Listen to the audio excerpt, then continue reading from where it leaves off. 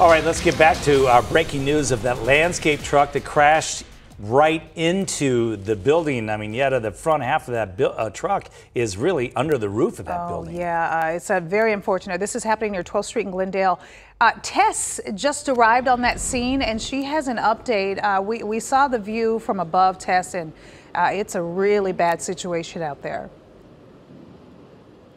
Yeah, let's uh, first thing first. The good news is no no big injuries here. Some minor injuries, so that's a good thing. And that dental office was actually closed. No one was inside. So uh, those are the good things that have come out of this. Let's go ahead and step out of the way so you can see exactly what we're talking about. Three vehicles in all uh, involved in this. So what we're told by Phoenix PD is that a vehicle actually ran a red light on Glendale here at 12th Street. That landscape truck driver swerved to avoid that car that was running the red light, and that's how that landscape truck ended up inside that dental building. Again, uh, more than half of the entire vehicle inside that building. Nobody was inside. It was closed at the time. So again, good news in all this is that no major injuries.